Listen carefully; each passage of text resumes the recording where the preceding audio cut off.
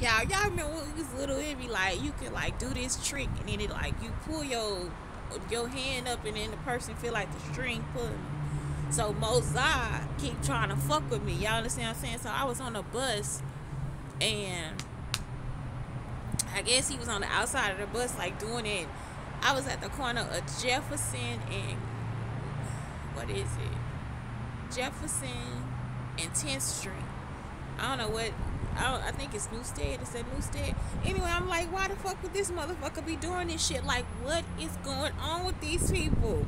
Like, what the fuck are you after me for? I'm so serious, Mozart. And that's what he want. He want me to put his name on something else. I'm not about to do that shit. And I mean, for real, he don't because this nigga was sneaking on the side of the bus while I was in the middle of the fucking street. Like, that's some shit. You just like, are you fucking kidding me? Y'all, I can't be on no